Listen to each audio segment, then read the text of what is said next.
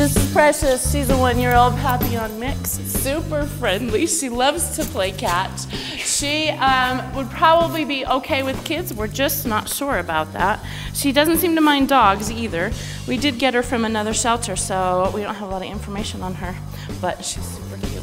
If you'd like to meet Precious, please come into the shelter.